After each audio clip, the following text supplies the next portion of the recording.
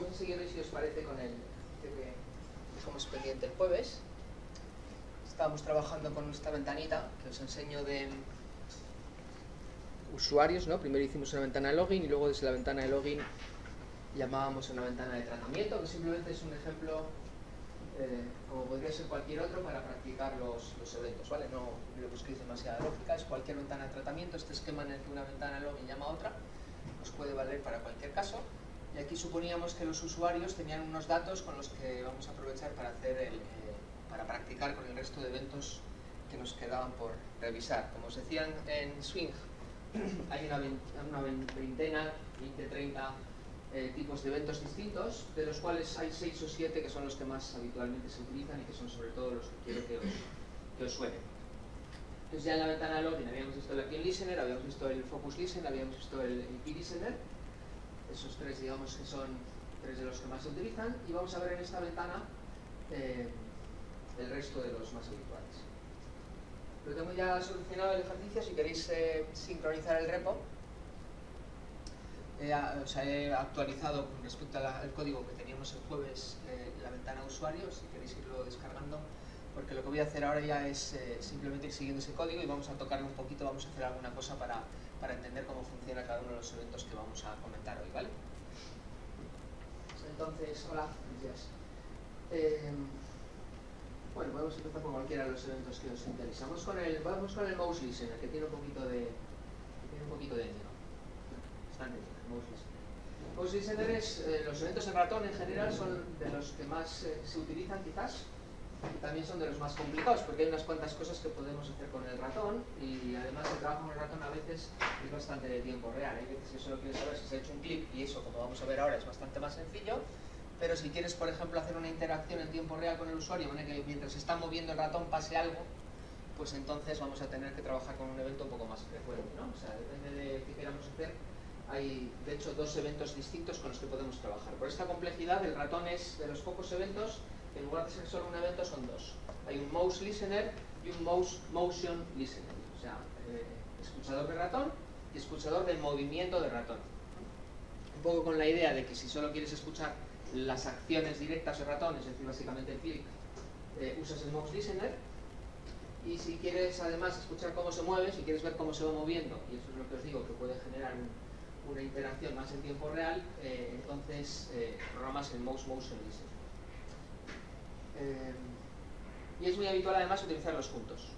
No es necesario, no es imprescindible, ¿vale? Podéis el mouse listener o solo el mouse mouse listener, pero es muy habitual que se utilicen juntos.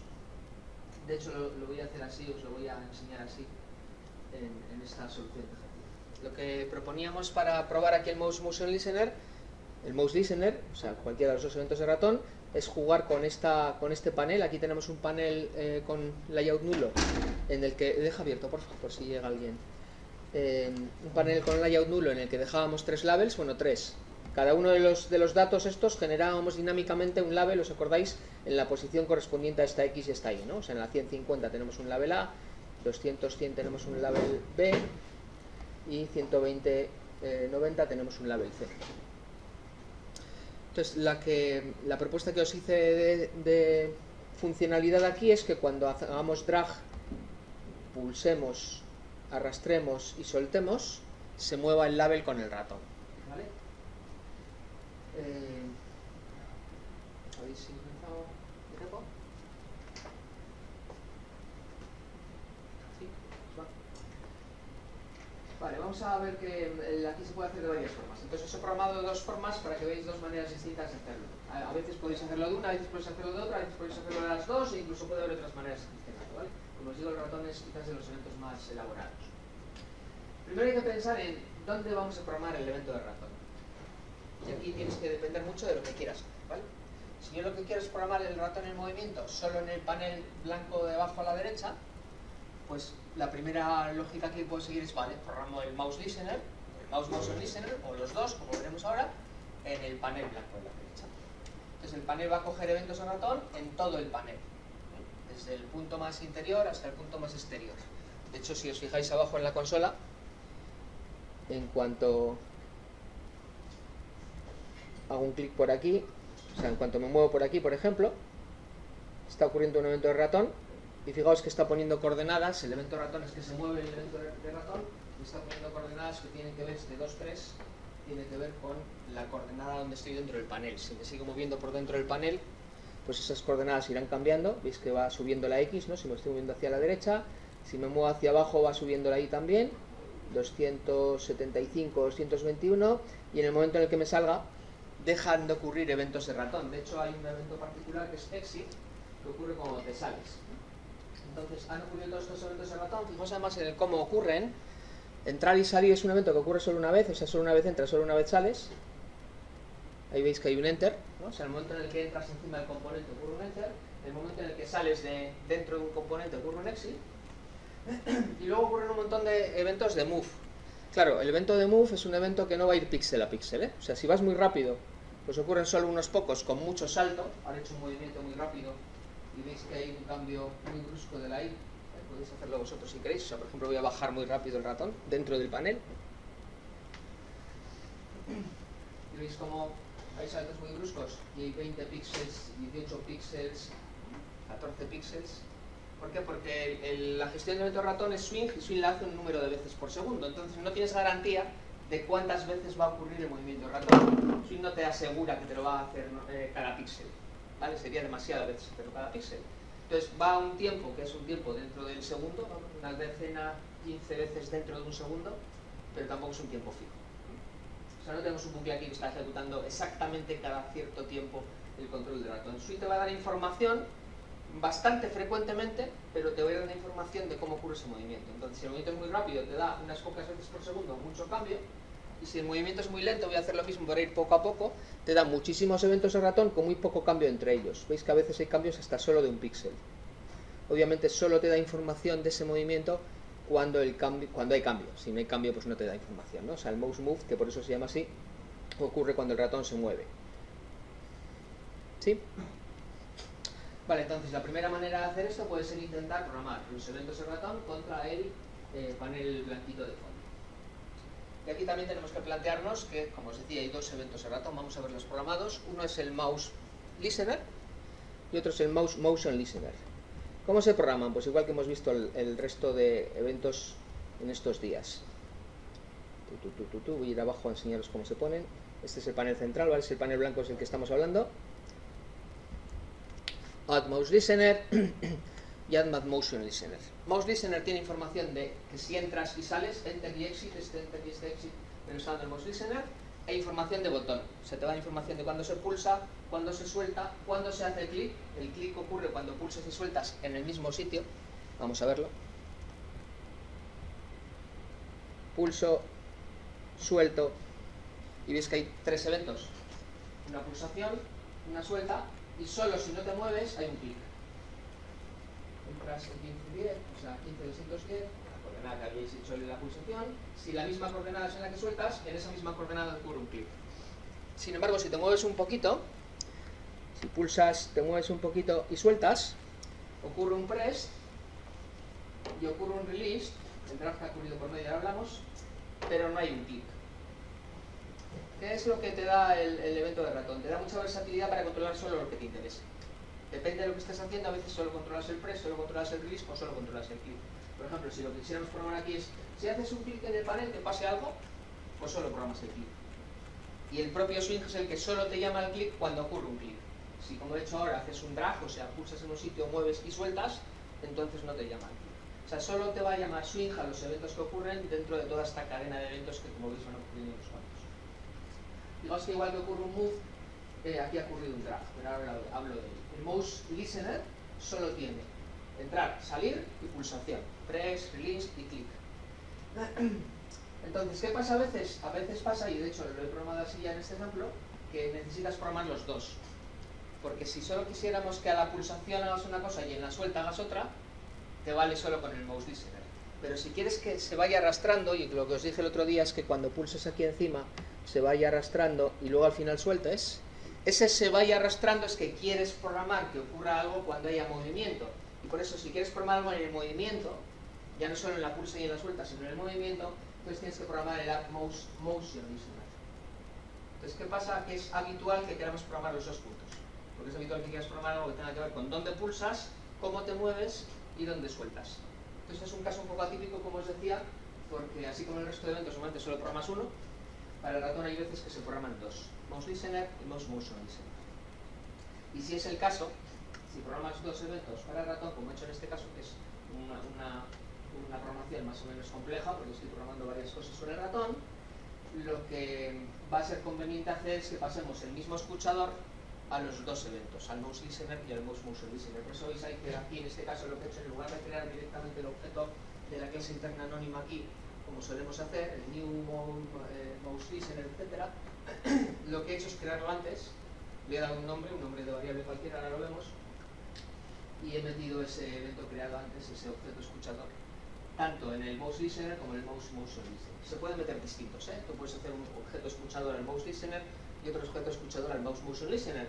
Pero si quieres que funcionen en conjunto, si quieres que trabajen o hacer una programación que tenga que ver con las dos cosas, tanto con el movimiento del ratón como con la pulsación de botones, entonces lo que es más habitual es el mismo objeto escuchador lo usas para los dos tipos de eventos. ¿Qué va a pasar entonces? Que el mismo objeto escuchador recibe los eventos juntos. Recibe por una parte los eventos en mouse y por otra parte los eventos en movimiento, los eventos en mouse mouse.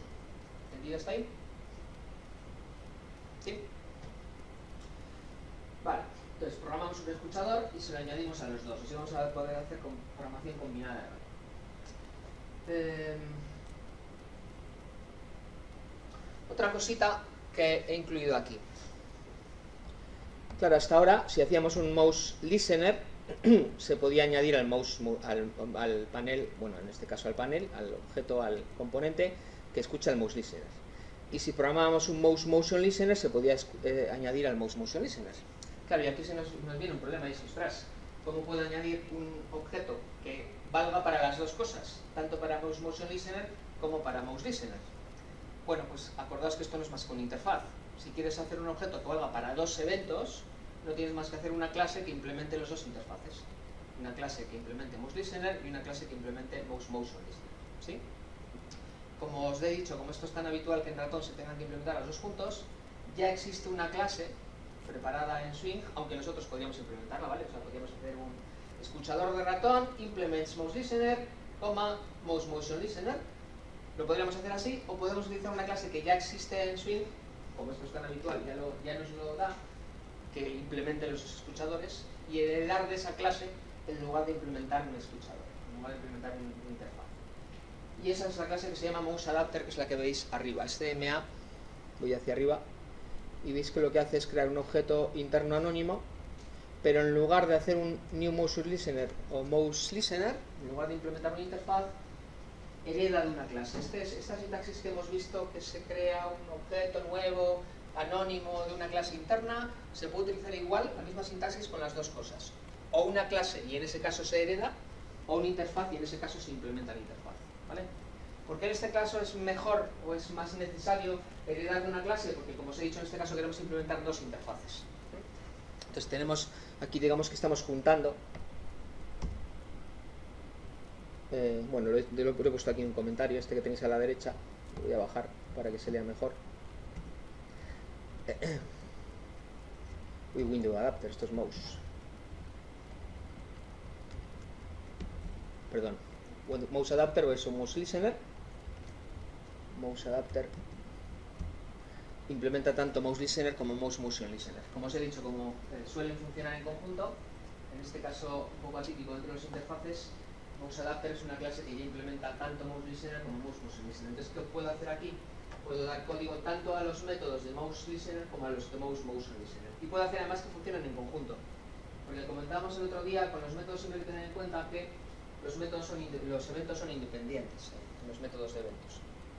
Es decir, ocurre un exit, ocurre un move, ocurre un enter, ocurre un click, pero no, no hay relación entre el código que hagamos en el click y el código que hagamos en el enter, ¿vale? Cada código es independiente. Entonces la relación la tenemos que hacer nosotros. Pero aquí es muy importante que hagamos esta relación. ¿Por qué? Porque si quiero mover la etiqueta, por ejemplo, el JLabels, lo quiero mover según haga un clic, y luego hay un move, vale, aquí hay un move.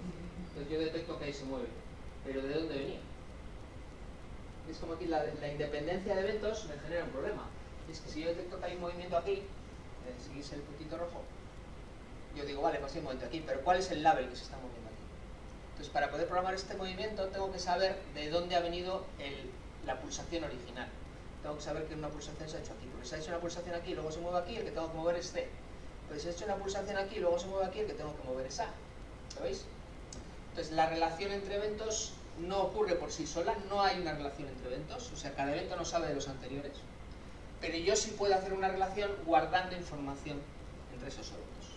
Entonces, cuando se dé el caso de que queréis programar algún funcionamiento compuesto, algún funcionamiento complejo, que tiene que ver con varios eventos, y eso es lo que nos está pasando aquí, que mi funcionamiento va a tener que ver con un, con un evento de pulsación inicial, un evento de movimiento o de drag que va a ocurrir después y un evento de suelta, que es el que va a ocurrir al final, tengo que prever qué eventos tengo que programar y además tengo que compartir información entre ellos. Claro, el de pulsación tendrá que guardar algo para que el de movimiento pueda utilizarlo para programarse, para hacer su funcionamiento. ¿Sí? Entendedme, ¿no? Si hacéis un drag aquí que no tiene que ver con las etiquetas, pues obviamente la programación va a ser distinta, ¿no? Si pulso aquí, arrastro y suelto, no hay nada que hacer. Sin embargo, si pulso aquí, arrastro y suelto, sí hay algo que hacer. ¿Lo veis? Entonces, ¿de qué depende que el evento de movimiento, de drag, eh, tenga algo que hacer? De dónde haya ocurrido la pulsación. Y eso lo tengo que guardar. ¿Entendéis esto? O sea, entre eventos no se comparte información. Entonces, toda la información que, necesitéis, que necesitemos que se comparta entre eventos, la tengo que programar. ¿Cómo? Con atributos.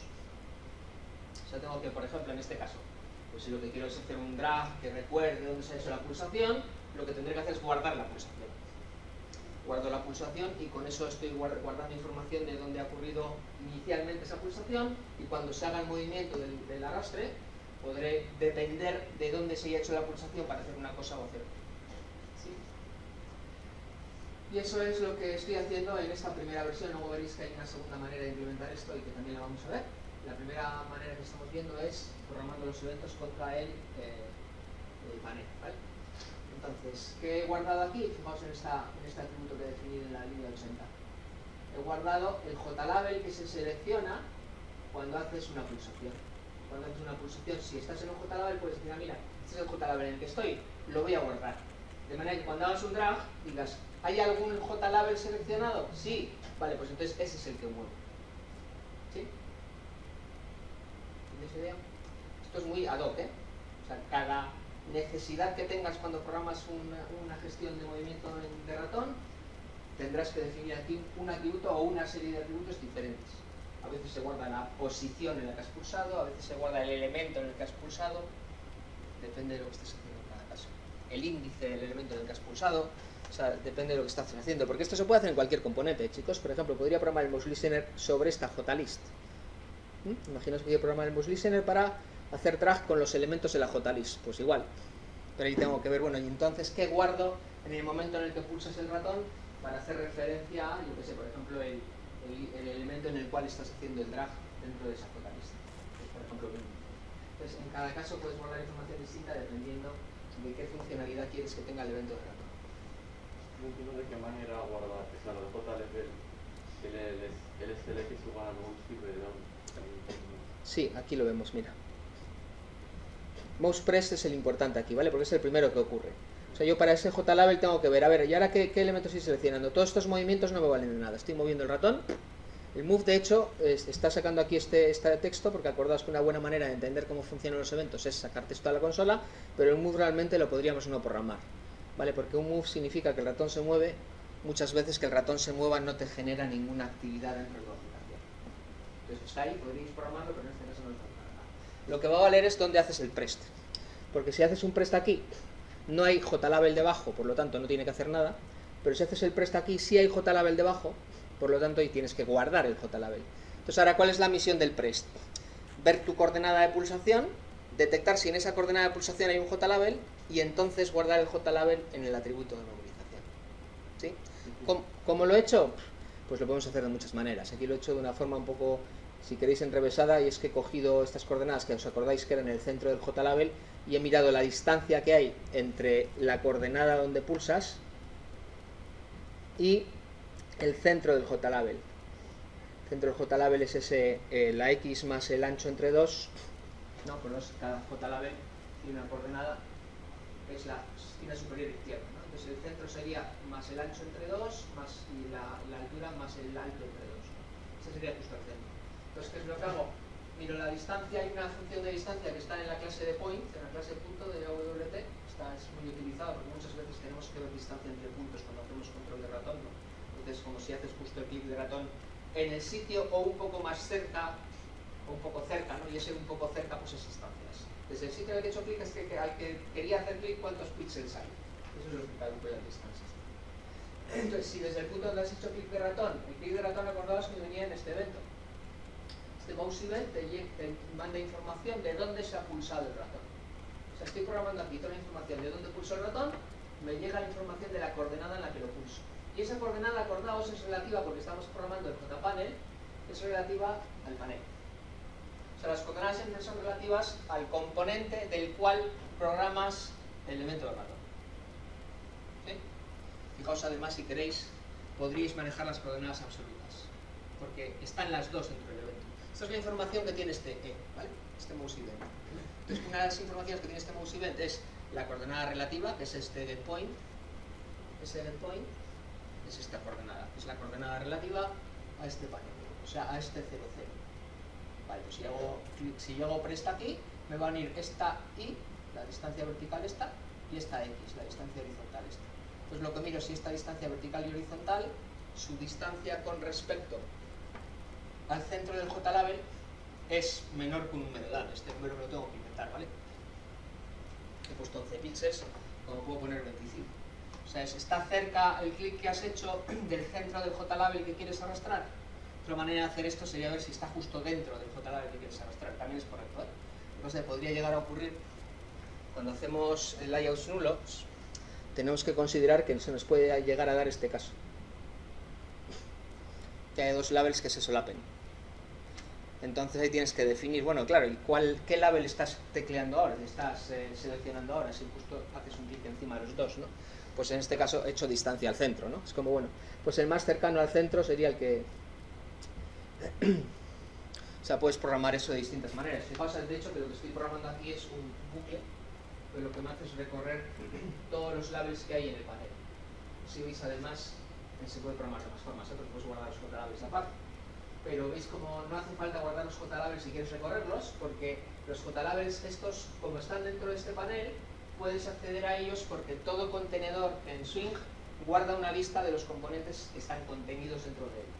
Eso es este get components. Entonces, ¿qué estoy haciendo aquí? Estoy iterando por todos los componentes contenidos dentro del panel. Y acá se tiene que ser component. Como yo sé, porque lo he programado yo, que son todos JPanel, puedo hacer este JLabel, perdón, puedo hacer este cast JLabel. Recordaos que si no lo supiera, tendría que con instance of, ¿vale? Porque lo que puedes meter en un panel que es cualquier componente. En este caso solo he metido JLabel, pues en este caso puedo hacer una, una, un cast JLabel y de cada JLabel miro la distancia al punto de, al punto de, de, de pulsado. El que tenga distancia menor que 11 es el seleccionado. Eh, imaginaos que queréis hacer esa precisión de, además puede haber varios con, en, el mismo, en la misma coordenada, pues podríais incluso mirar cuál está más cerca. O sea, aquí simplemente he puesto la distancia menor 11, pero podríais calcular distancias, eh, eh, todas las distancias y mirar el que esté a una distancia menor, por ejemplo. Como os digo, esto se puede programar ya dependiendo de la funcionalidad que tenemos de, cualquier manera, ¿vale? Porque aquí ya tenemos control de bajo nivel sobre lo que está ocurriendo en las coordenadas de, de la ventana y las pulsaciones yo lo que he hecho es, pues nada, cualquiera que tenga menor, menos de 11 píxeles de distancia lo selecciono. De hecho aquí podría hacer un break, ¿no? podríamos romper el bucle después de, seleccionar. O sea, como el primero que pilles que tenga menos de 11 de distancia, ese me vale. Pues aquí te haces un break y ya lo tienes. ¿eh? Otra manera es guardo la distancia y el que menor distancia tenga es el que cojo. Pues nada, entonces programas esto para que no solo compare con 11, sino compare con la menor distancia de las ya encontradas. Es un algoritmo que podemos programar de manera que queramos. Entonces, fijaos que la única intención del MousePress es determinar qué etiqueta está pulsada. Y la guardo en un atributo. Además, hago una funcionalidad que os dije también que se podría hacer esto, que es que cuando se selecciona y se mueve, se cambia el color. Pues aprovecho para cambiar el color. O sea, en el momento en el que lo pulses, ese cambio de color tiene que ver con esa pulsación del, del mouse press, ¿vale?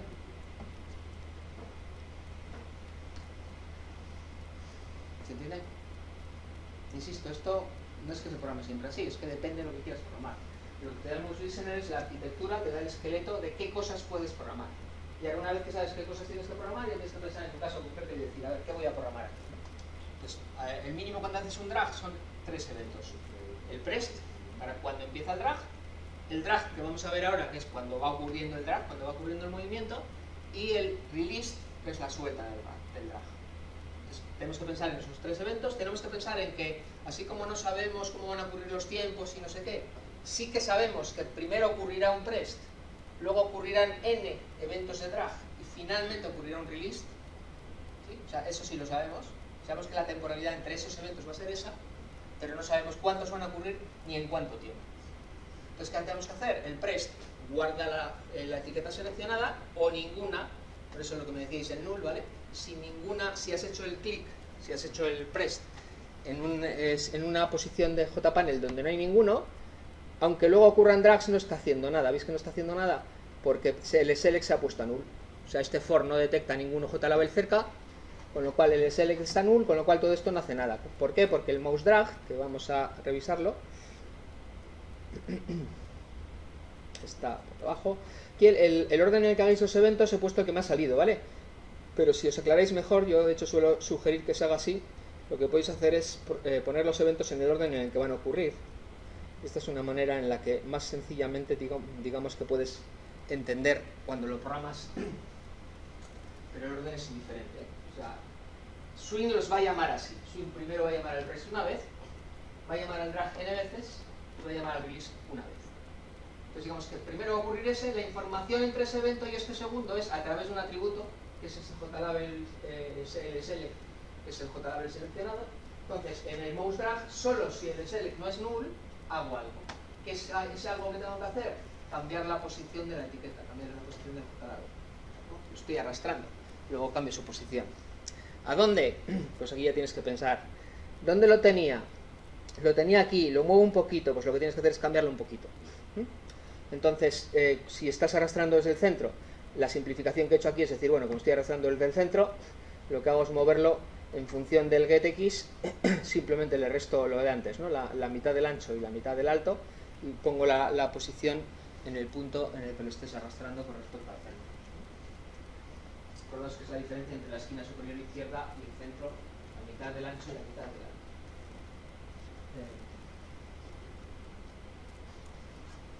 Hay algunos sistemas de interfaz de usuario de GUI que trabajan siempre con puntos centrales, pero la mayoría trabajan con puntos de la esquina. O sea, la mayoría de las veces cuando haces una posición, un set location en swing, lo que estás viendo es la esquina superior izquierda del elemento que posicionas, ¿vale?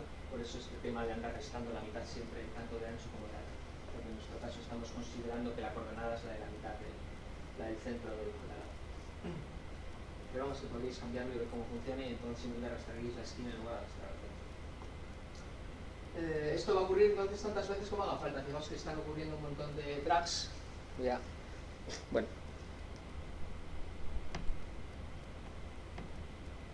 Ahora, ahora os cuento por qué no está saliendo ahí. ¿eh? O sea, cuando hago esto y suelto, están ocurriendo un montón de drags, entonces cada uno de esos drags lo que está es moviendo la etiqueta eh, a las posiciones que. No está ocurriendo aquí porque, como os decía, esto se puede programar de dos maneras o de más y está programado de las dos maneras. Entonces la que está funcionando ahora es la segunda que os cuento después, pero primero vamos a intentar entender esta. Eh, y solo cuando sueltas ocurre un release y el, el select se vuelve a poner al color original. ¿no? Digamos que tenemos que acabar el ciclo. Entonces, al principio estaba en gris, lo hemos puesto en cian, al final del movimiento lo vuelvo a poner en gris. Si no, se quedaría en cian. Está bien, ¿eh? pero aquí depende de la funcionalidad que queráis. Lo normal es que la etiqueta vuelva a... O sea, el color aquí está en un feedback visual de que estamos arrastrándolo. Entonces lo lógico es que cuando acabemos de arrastrarlo se acabe el feedback visual de que se está haciendo el arrastre. Entonces estos tres eh, eventos combinados son los que harían la manipulación de movimiento de la etiqueta dentro del JPanel. ¿Entienden? ¿Dudas? Y hay muchas cosas que se pueden variar, ¿vale? Se puede variar cómo se utiliza la coordenada para el arrastre, se puede variar cómo se calcula la distancia, se puede variar cómo se mira cuál es el elemento que se ha pulsado o que no sea ese elemento, o sea, cada uno de los componentes tiene ya luego algunos trucos que podemos utilizar en unos casos o en otros dependiendo de lo que queramos programar, pero esta idea básica de tengo la coordenada de ratón en cada pulsación, tengo la coordenada de ratón en cada elemento de drag y tengo la coordenada de ratón en cada suelta, es la que nos permite orquestar, como estoy haciendo ahora, varios eventos que funcionan en conjunto general lo más complicado de programar cuando programamos eventos son estos casos. Porque cuando el evento ocurre solo, como es el Action Listener, tú pulsas un botón y ocurre un Action Listener solo una vez. Pues es vale, pues, por complicado que sea, programo el Action Listener. Sin embargo, estos son eventos que ocurren mezclados. Entonces tienes que pensar muy bien, primero, cómo van a ocurrir. O sea, esta idea de que primero ocurre la pulsación, luego varios drag y luego una sola suelta y después pensar en cómo se van a comunicar entre ellos. Y acordaos de que aquí no hay manera de comunicarlos más que con datos compartidos. Y ese dato compartido puede ser un atributo. Eso sí, no os lo he dicho, el atributo puede estar en la clase interna o en la clase externa. ¿eh? Imaginaos que quieres guardar la etiqueta que se ha arrastrado, la quieres guardar para que después del arrastre pase algo. O después del arrastre saques una información diciendo la última etiqueta movida es no sé qué. O después del arrastre quieras seleccionar la etiqueta arrastrada, seleccionarla en este JList pues ese, ese, atributo de la etiqueta seleccionada lo he definido ahí, que es mi escuchador. O sea, solo eso vas a ver dentro del escuchador, pero igualmente lo puedo definir en la ventana.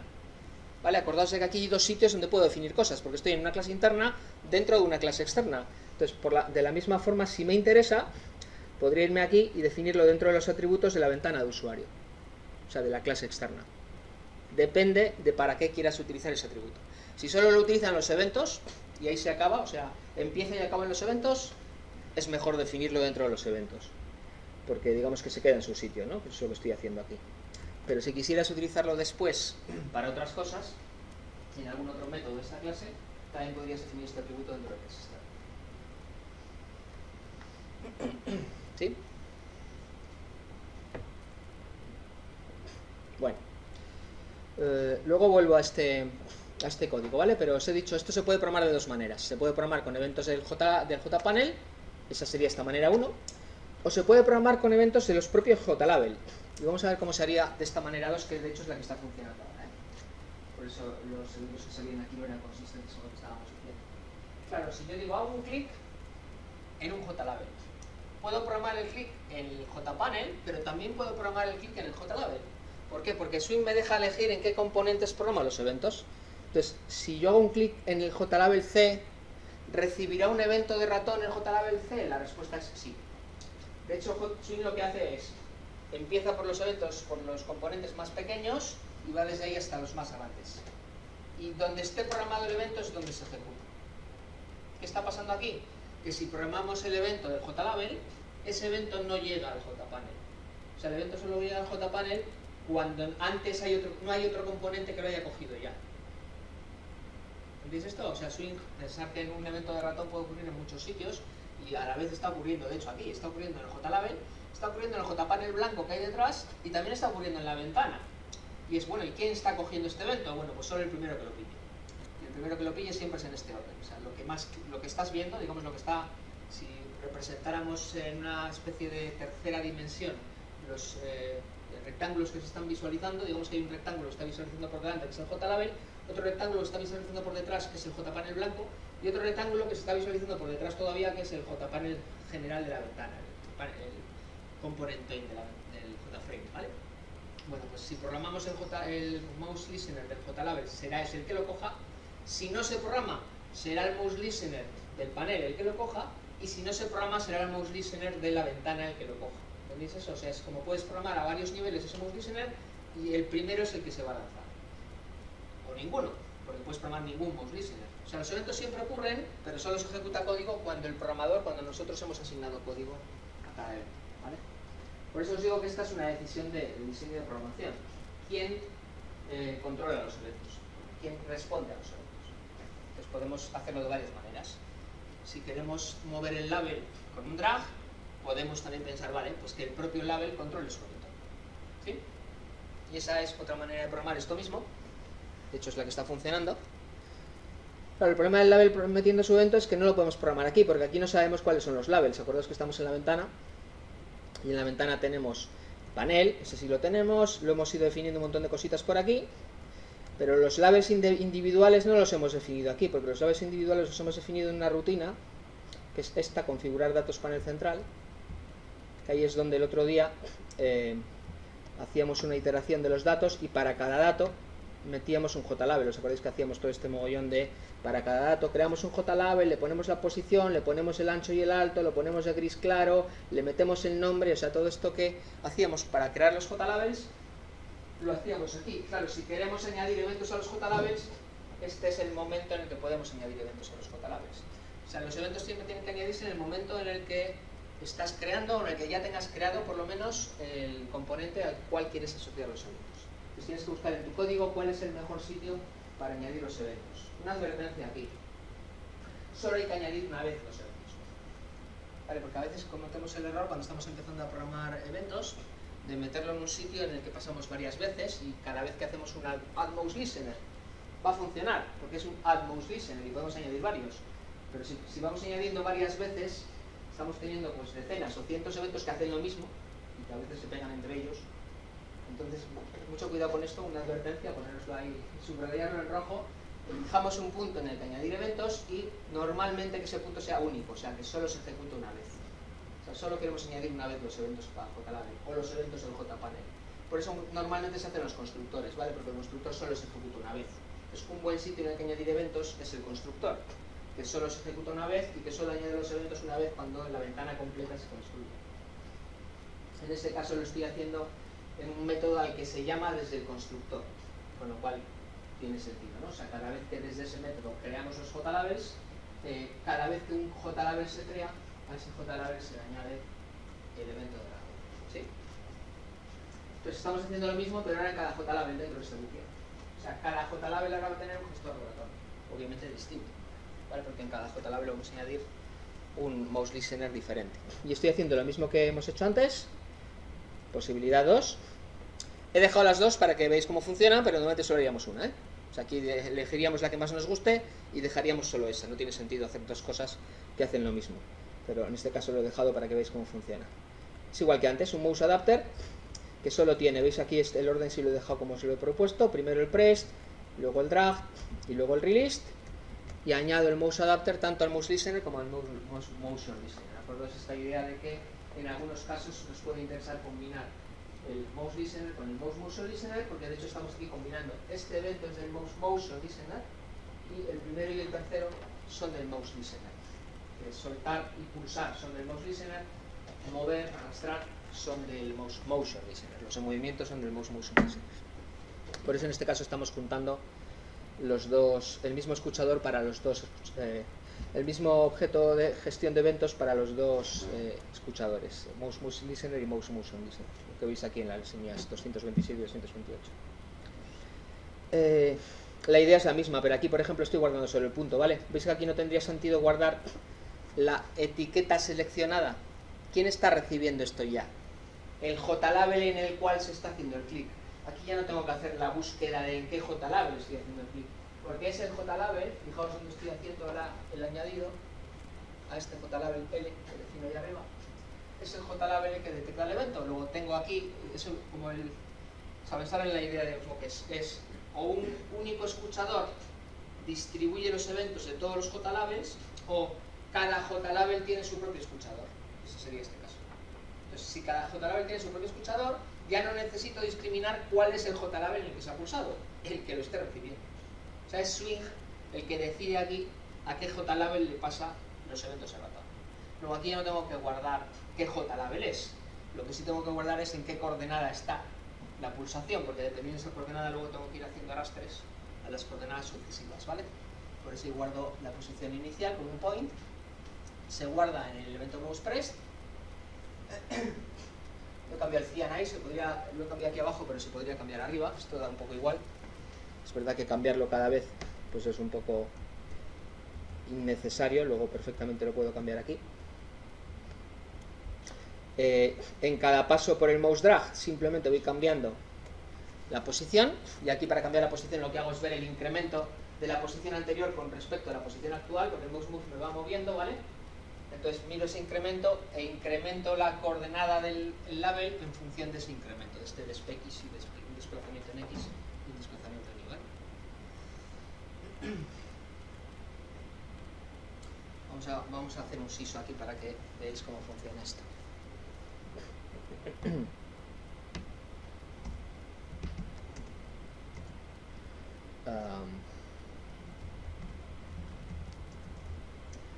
la posición inicial. Llega hasta e.getx getPoint getPoint es x e y, ¿vale? getX es solo la x getY solo la y y getPoint tiene las dos coordenadas. O sea, es lo mismo pero separado o junto. Y la diferencia o sea, el desplazamiento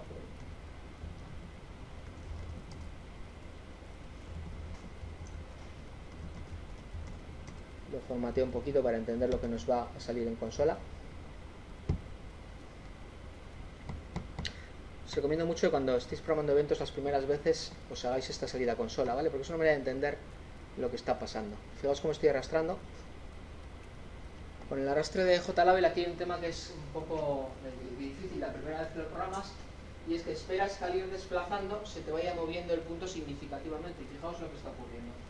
El punto del que parto y al que voy en el drag, o sea, donde estaba el movimiento anterior y donde está ahora, cambia muy poquito. ¿Por qué? Porque todas las coordenadas son relativas al componente del cual programas el mouse listener. Entonces aquí, aunque esperas que al hacer el drag vayan creciendo las coordenadas en X, realmente nunca te van a crecer del todo. ¿Por qué? Porque siempre son relativas al JLabel y como lo vas moviendo, vas todo el rato en las mismas coordenadas. ¿Veis que por mucho que me mueva, el desplazamiento relativo es muy pequeño? ¿Sí? ¿Por qué? Porque ahora las coordenadas son relativas no al panel, sino al JLabel. Entonces, para programar los eventos acordados siempre tenemos que pensar en esto. ¿Cuál es el componente en el cual estoy programando? De ahí van a salir las coordenadas. Y en función de eso haces una cosa o haces otra. Por eso en este caso lo que he hecho simplemente es calcular el pequeño desplazamiento que hay cuando haces un drag entre las coordenadas donde pulsaste originalmente dentro del JLabel y las que has movido ahora después del drag. Ese desplazamiento veis que está siendo de muy pocos píxeles. Obviamente si vas más rápido con el drag pues serán más píxeles, porque como os he dicho la frecuencia con la que se llama pues es eh, la, que, la que es TD, ¿vale? Entonces a veces puede haber desplazamientos de 20 píxeles, como estáis viendo aquí, si he hecho esto suficientemente rápido, ¿vale? Pero siempre te vas a mantener en coordenadas pequeñas, porque son coordenadas dentro del label. Entonces el label es pequeñito, pues ahí, ahí están tus coordenadas.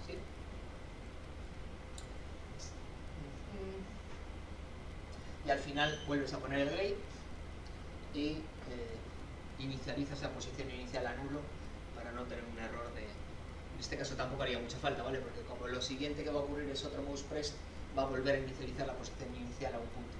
Pero, sobre todo si tienes otros eventos más que los que están programados aquí, pues es conveniente de que no pienses que estás arrastrando un label porque ya has dejado de arrastrarlo. Es como acabar el ciclo, ¿vale?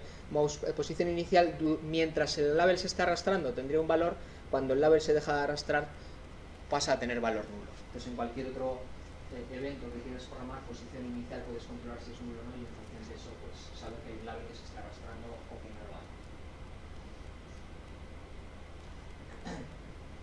¿Dudas? ¿Se entiende? Cosas que haréis distinto. Se puede programar de muchas formas. ¿eh? Esta es un poco la más sencilla pero también podéis programar con coordenadas absolutas. ¿eh? Hay, quien se, hay quien se apaña mejor con las absolutas, porque dice, mira, esto, esto de que está relativo al label no me entero, Andoni. Pues mira, siempre coge las absolutas y ahí no tienes errores. El sitio en el que estás con respecto a tu escritorio. Me están saliendo coordenadas tan grandes porque acordaos que yo tengo dos pantallas, ¿vale? Entonces me están saliendo coordenadas con respecto a un 0, 0 que está por allí a la izquierda, un rato, un rato a la izquierda. Pero todas las coordenadas absolutas, así como las relativas, siempre dan desplazamientos muy pequeños, siempre están en ceros, cero, alrededor del cero, aquí sí que tienes desplazamientos absolutos con respecto a la pantalla. Entonces hay quien se apaña mejor con las absolutas y hace la programación con las absolutas. Funcionaría igual, ¿vale? Si, está bien programado, da igual programar con absolutas que con relativas. Tenemos los métodos de hacerlo, eh, porque solamente se utiliza una método de ningún problema. Es decir, las Vale, porque los eventos, correcto, porque los eventos del JPanel no se están llegando a recibir. O sea, cuando tú haces todo esto en el JLabel, este mouse press que hago aquí como lo coge el JLabel, swing no se lo manda al JPanel. Entonces el JPanel, de hecho, ¿os acordáis que había, había un eh, había un print ln del press que no está ocurriendo? En cambio, si hago un press aquí, sí que ocurre. O sea, el JLabel esto sí lo recibe, el JPanel, perdón, esto sí lo recibe, porque no está encima de ningún JLabel. Sin embargo, esto, el JPanel no lo recibe. O sea, quien consume el evento de ratón es el primer componente al que llega. No, no, llega al segundo. O sea, en eso que os he dicho que hay varios componentes uno detrás de otro, no atraviesa el evento. O sea, el evento, el primero en el que lo cojas se queda. Entonces, como el, como el JLabel se queda el evento, no lo rellena a recibir el JPanel. Entonces, no se está, ese código que hemos visto antes ahora no se está ejecutando. Funcionaría, o sea, si quitarais este, funcionaría. Quitar este es tan fácil como quitarlo de aquí. No hace falta que quites ni el código, ¿vale? O sea, con que no lo añadas a los escuchadores, este evento no estamos haciendo nada con él. Entonces, ahora, como no lo he añadido en el JLabel, quien se está ejecutando ahora es el del JPanel. ¿Veis que ahora sí se sacan a consola los eventos del drag? Sí, solamente coge el primero. El primero que tengas programado. O sea, Swing va mirando todos los componentes y dice, a ver, este componente recibe el ratón. ¿Tiene programado este evento de ratón? Sí, ese es el va. No, miro el siguiente componente que hay hacia el fondo. ¿Ese sí tiene programado el evento de ratón? Ese es el que lanza. Por eso digo que hay que elegir, pero en algunos casos puede funcionar programando dos. De hecho, en este caso está bien programar dos. ¿Por qué?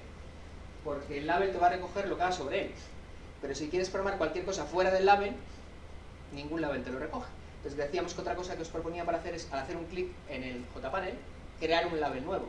Claro, eso no puedes programar en el label, porque lo vas a hacer fuera de los labels. Entonces en este caso tendrías que programar quizás el clic en el JPanel y el arrastre en el label.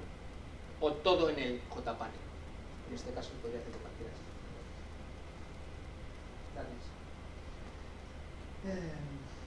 Pero veis que funciona igual. Ahora está programado, el, o sea, está ejecutándose el del JPanel y hace exactamente el mismo drag. Lo pone cian, lo pone en gris al final. En cambio, si ponemos esto sin comentarios, pues no se llegan a ejecutar esos eh, eventos del JPanel porque se están ejecutando en cada uno de los gestores. Y fijaos que aquí hay tres escuchadores, ¿vale? El escuchador de la etiqueta A, el escuchador de la etiqueta C, el escuchador de la etiqueta B y cada uno de ellos se lanza cuando procede. O sea, es Swing el que decide, en ese sentido es más fácil probar los escuchadores en cada componente individual porque es Swing el que decide si ese componente es el que está llegando en el ratón. Aquí no tenemos que hacer el control que hacíamos antes de eh, está cerca de este label, ¿veis? Ni el for. ¿Veis que aquí no recorremos todos los labels? Aquí cada label sabe, Swing le dice, mira, aquí te ha llegado el botón, apáñate con él. O sea, cada label es informado por Swing del evento que ocurre sobre él. Y el resto de labels ni se enteran. ¿Vale? Pues aquí en todo, si quisierais, que parece lógico, ¿no? Que cuando se mueva un label se actualice la X y la Y del JList, este que tenemos a la izquierda, pues esto quedaría pendiente aquí, se podría hacer en el mouse list. Se podría ir también haciendo en el drag, ¿vale? Entonces parece que puede tener sentido, mira, solo al final cuando acabas el arrastre, entonces eh, actualizas el valor correspondiente del, del dato del dato principal, ¿no? del dato del que ha venido este lado. Ahora mismo tal y como está, pues veis que hay una inconsistencia porque estas coordenadas ya no son las mismas que las coordenadas que tienen los JLabels.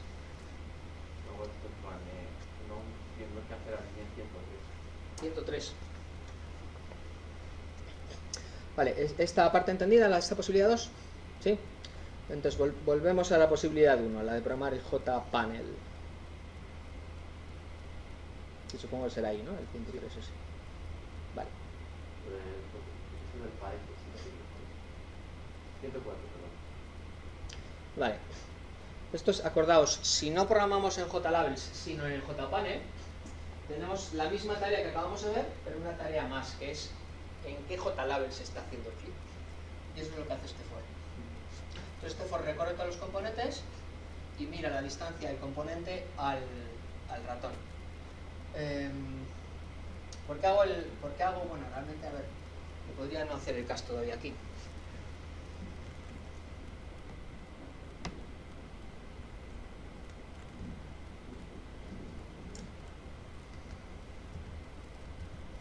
Me preguntas por el cast, ¿no? Sí, es que no sé. Mira, si del componente quiero coger solo su X y su Y, lo puedo hacer como component. O sea, el rollo aquí cuál es? El rollo es que en un JPanel puedes meter cualquier componente. En este programa estamos metiendo en este JPanel JLabels. Pero realmente en un JPanel puedes meter cualquier cosa, un button, un eh, combo box, lo que quieras. Entonces, la lista interna que tiene el panel de los componentes que hay dentro de él, a la que se accede con este components, es una lista de component. Que es una clase padre de todo lo que estamos viendo. O sea, JPanel, JButton, JList, J bla bla bla, hereda de component. Entonces todo es un component para su Vale. Entonces quiero ver la distancia de ese component al punto. Vale. Todo component tiene un getX, un getY y un getLocation. Luego puedes ver c.getx, t.getY. Sin embargo, cuando quiera guardar la etiqueta seleccionada y quiera cambiarle el fondo, no todo component tiene un fondo. Entonces ahí, sí que necesito especializar ese, objeto. O sea, yo tengo un objeto, puede ser cualquier componente, pero ahora solo si es un JLabel quiero cambiar el fondo. Entonces, ¿qué hago? Hago un cast, lo de siempre, cambio de cajita, ¿vale? Este componente tiene una cajita etiquetada como componente, le cambio una cajita etiquetada como JLabel. Y ahí puedo llamar a métodos específicos de esa clase. ¿Y poner JLabel entre paréntesis? ¿Esto funciona con JLabel? Estoy haciendo un cast de una clase padre y una clase hija. Es igual que lo que hemos hecho siempre cuando hemos hecho la herencia de instance of y luego un caso, una conversión. Lo que que aquí no necesito hacer el instance of porque sé, yo lo he programado, que todo lo que hay dentro del JPanel son JLabels. Pero imagínate que dentro del JPanel metes más cosas. Pues aquí podrías hacer el instance of. Pues aquí podrías hacer un...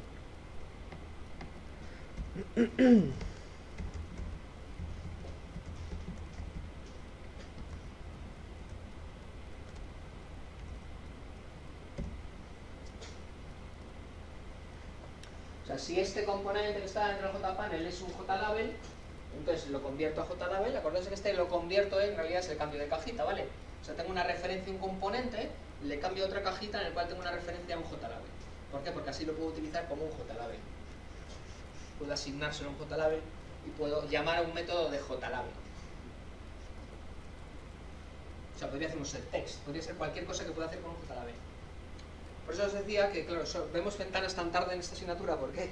Porque solo cuando ya sabemos lo que es herencia, sabemos lo que es polimorfismo, sabemos lo que son interfaces, solo entonces podemos manejar ventanas, porque las ventanas utilizan todo lo que hemos visto hasta ahora en la asignatura. Utilizan herencia, interfaces, clases anónimas, clases internas. Eh, ¿Qué estamos haciendo aquí? Estamos haciendo un polimorfismo de una herencia. O sea, hay una herencia que existe en Swing, que es que la clase component es la madre de todas las clases, todos los demás componentes de swing heredan de component, entonces estoy recibiendo aquí un component en una lista de componentes que tiene el contenedor, que tiene el panel, y de esa lista estoy mirando los o sea que, como os decía, aquí no hace, falta el instance of, aunque lo podéis hacer, veis que también funciona correctamente, porque sabemos, porque, hemos hecho el programa así, que todo lo que metemos en este caso son JLabels. Pero en cualquier caso sí que hay que hacer esto si queremos tratarlo como un JLabel.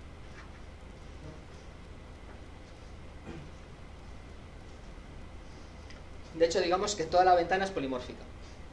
¿Vale? Porque estamos viendo esto aquí. ¿Y qué podemos meter al oeste? Cualquier componente. Estamos metiendo un JList, porque JList era de componente. ¿Qué podemos meter en el centro? Cualquier componente. Estamos metiendo un JPanel. ¿Por qué? Porque JPanel era de componente. O sea, todos los componentes que estamos viendo heredan de componente tanto los contenedores como los componentes, porque por eso se puede meter un contenedor como un JPanel dentro de otro contenedor. Porque un, contenedor es una lista de componentes. Un contenedor contiene una lista de componentes. Por eso a su vez meter un JPanel dentro de un JPanel dentro de un JPanel, porque un JPanel también es un componente. ¿Sí? JPanel de arriba es un componente, dentro, dentro del JPanel metes una combo box que también es un componente estamos metiendo todo el rato polimórficamente eh, instancias de clases hijas de la clase component en nuestra ventana. Una ventana es un mogollón de composición de clases hijas, de instancias de clases hijas de componentes.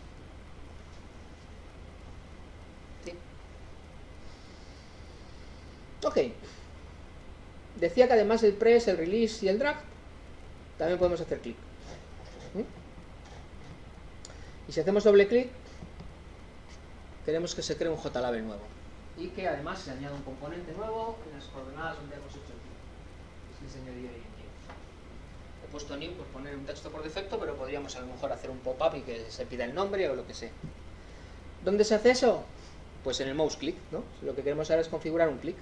¿En qué componentes hace eso? Esto ya no se puede hacer en JLabel, así como para lo de antes se podía hacer en dos sitios, lo hemos hecho en dos sitios de hecho, esto ya solo se puede hacer en JPanel, porque si hacemos un clic sobre el fondo, quien va a detectar ese clic solo es el JPanel. Aquí ya no podemos tener la opción de JLabel, ¿vale? Porque de hecho no tendría mucho sentido crear otro JLabel si hacemos clic en un JLabel. También podéis decir, bueno, ¿y qué pasa si hacemos clic en un JLabel? Pues lo podríamos definir. Como no está definido no pasa nada. De hecho, veis que se llega a poner en cian un poquito porque es un press y un release. Entonces se llega a poner en cian un poco y se vuelve a poner a gris porque es un press y release sin draft. Pero no está ocurriendo nada porque el propio JLabel no tiene nada programado para el clic. Es lo que decías antes de que no, no llega a recibir este clic, no lo llega a recibir el panel. Sin embargo, si haces doble clic aquí, sí lo recibe el panel. Entonces, ¿qué hay que hacer? Hay que programar el mouse click en el panel. Este primero mouse adapter. Y aquí ya probamos lo que queráis para eh, crear una etiqueta nueva. Lo que estoy haciendo aquí es básicamente el mismo código, que podríamos hacerlo a través de un método en lugar de hacerlo aquí copiado y pegado, pero bueno, es el mismo código que teníamos para creación de una etiqueta.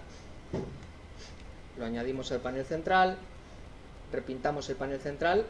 y de aquí con los repaints, ya os comentaré que en algunos casos hace falta repaints y en otros validate. Si un panel solo añadís, un panel sin layout, solo añadís un componente como estamos haciendo aquí, el panel no se ve modificado en su estructura, ¿vale? Pero, si no haces el repaint, como no se ve modificado en su estructura, Swing no sabe que ha habido un cambio importante en ese panel y no lo vuelve a pintar. Entonces, vamos a ver cómo funciona. Si quito eso,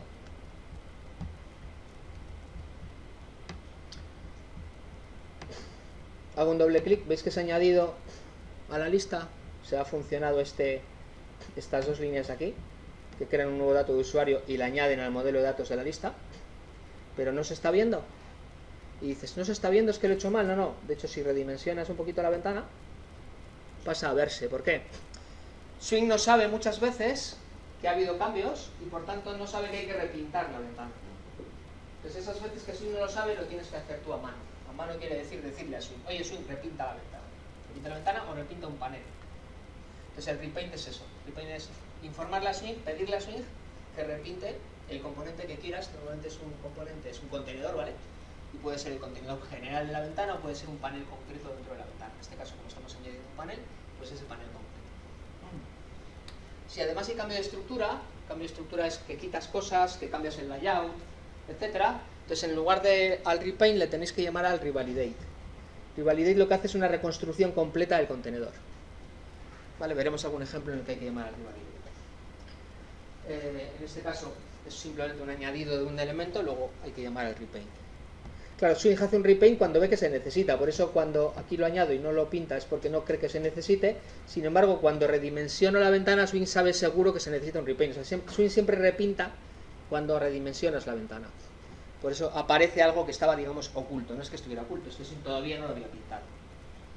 ¿Por qué nunca hemos tenido este problema hasta ahora? Porque siempre primero construimos toda la ventana y al final hacemos un set visible a false, a true. ¿Vale? Por eso la ventana hasta siempre se pinta bien. Pero esto nos pasaría también si estás construyendo la ventana, la pones a visible y sigues construyéndola. ¿Vale? En el momento que la pones a visible, Swing la pinta, luego tú sigues construyéndola y eso ya no te lo pinta.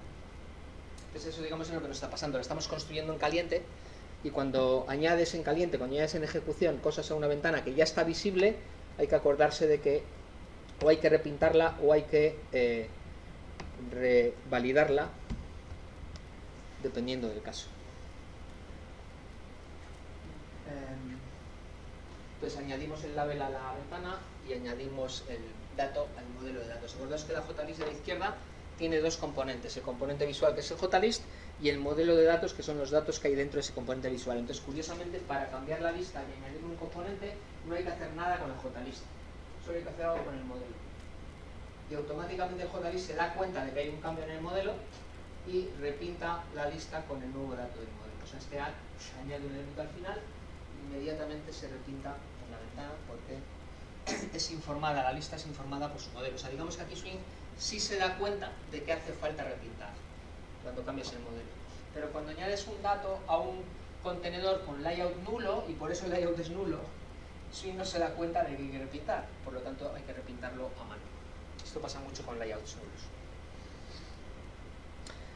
Eh, vale. Una puntualización aquí. Fijaos que los que he hecho nuevos, si intento arrastrar uno de los viejos, digamos viejos, va bien. Y si intento arrastrar uno de los nuevos, de la segunda manera no iría bien. Esto está funcionando porque está cogiéndolo de la primera manera, que es la que tiene los eventos el JPanel, ¿vale? Pero de la segunda manera no funcionaría. ¿Por qué? Porque aquí solo estoy añadiendo los labels y no estoy añadiendo los eventos. Pues una de dos. O utilizas la manera 1 y haces todo en el JPanel y te olvidas de añadir eventos.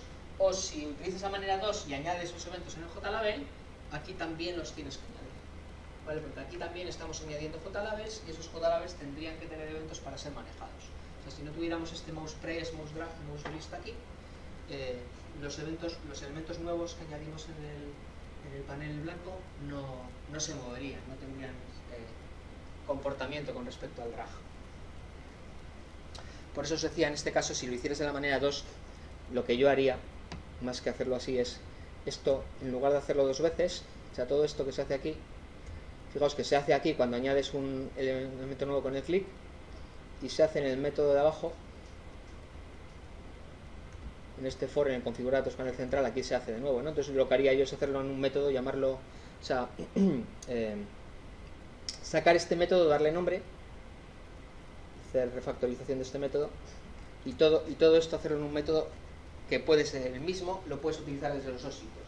Lo puedes utilizar cuando creas el label de forma original partiendo el dato, o lo puedes utilizar cuando añades un label dinámicamente desde el programa haciendo doble. Pero bueno, estos ya son un poco optimizaciones o mejoras, tal y como está programadora también funciona. Por cierto, no he comentado que el número de clics se puede contar y hay un contador que viene en el propio evento, este get click count. O sea, tú haces un evento de clic y el evento de clic no se diferencia del evento de doble clic. Es el mouse click. ¿vale? Ese evento es el mismo para cualquier clic que hagas. Lo que sí tiene dentro es un contador de clic. Y si te dice cuántas veces has hecho clics, si es doble, si es triple, simplemente haces ese get count click y te dice si es el segundo clic, es el tercero, es el primero. Entonces, si quieres hacer algo solo en el doble clic, compruebas como he hecho aquí que el click count sea 2. Si quieres hacer algo solo en el clic simple, pues compruebas que sea 1. Y si te da igual, pues no lo compruebas y ya está. Vale. ¿Se entiende? Entonces hay muchas cosas más que se pueden hacer con los eventos de ratón pero digamos que esto es un poco la base. Muy, muy habitualmente programaremos el clip y esto es lo más fácil porque es, digamos que va solo. O sea, para programar el clip no te tienes que preocupar de qué ha pasado antes o qué ha pasado después. Ha habido un clip y hago algo con ese clip. Y a veces, como hemos hecho en la parte anterior, tenemos que combinar varios eventos para hacer un drag o para hacer algún, alguna composición que tenga que ver tanto con la pulsada como con la suelta, como a veces con lo que pasa por medio, con el movimiento que pasa por medio. Por cierto, otra cosa característica que no os he comentado es que una vez que inicias un movimiento, una interacción de ratón, hasta que se acaba, el, evento, el componente que recibe el evento es el mismo. Esto puede parecer un poco raro, te explico. Yo inicio aquí una pulsa. Hago un movimiento, veis que el panel está recibiendo, ¿no? Eso es todo lo que sale en consola. Pero fijaos lo que va a pasar ahora. Sigo, sigo pulsando, ¿eh? ¿Veis lo que está pasando? Me he salido completamente del panel, de la ventana incluso, y sigue recibiendo drags, e incluso si lo suelto, recibe la suelta. ¿Por qué? Porque para que sea consistente este tema de cómo se lanzan los eventos, Swing envía todos los eventos de una interacción compuesta al primer eh, componente que recibe esa interacción. O sea, aunque sueltes el ratón fuera del panel, la suelta la recibe el panel, no la recibe la JList. O sea, imaginaos que yo hago esto pulso de aquí y suelto aquí.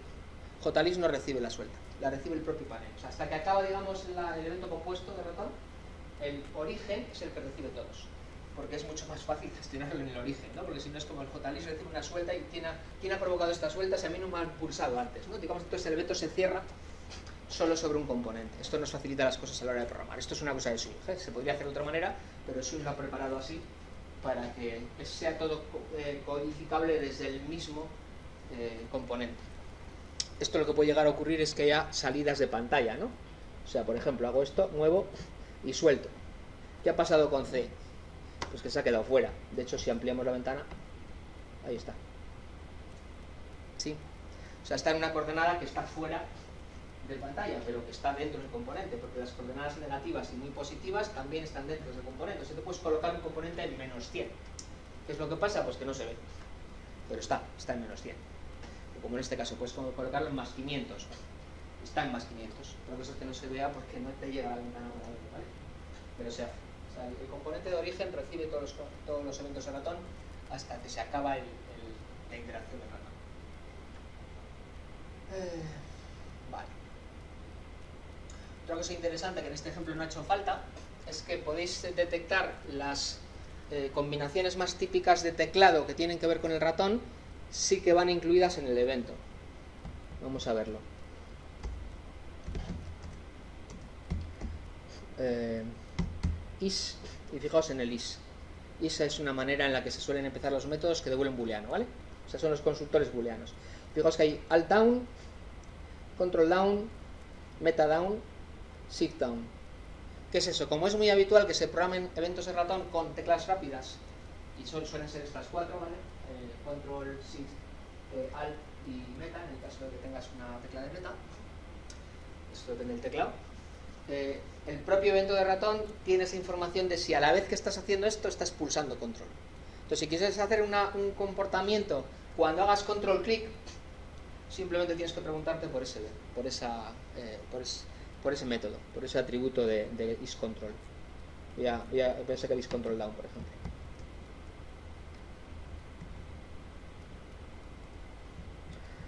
Si hago clic, espera que traigo la ventana.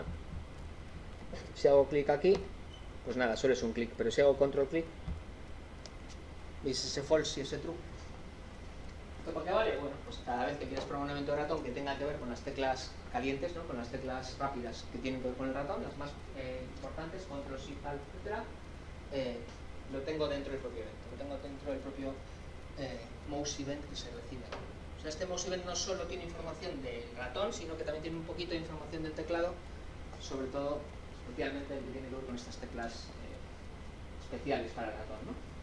Pero ya como queréis programar uno, y si pulsas el ratón y a la vez estás pulsando control, el cursor arriba o estás pulsando A, para eso tendrías que hacer a la vez un key listener y un mouse listener. Se puede, hay que hacer un mouse listener por un lado y un key listener por otro. Y como sabéis no tienen relación. Entonces por un lado tienes que estar con un key listener detectando que teclas han pulsado y por otro lado tienes que estar con el mouse listener detectando qué has hecho con el ratón. Solo en este caso del control shift y del alt eh, lo podéis hacer desde el mismo mouse event sin necesidad de hacer un key listener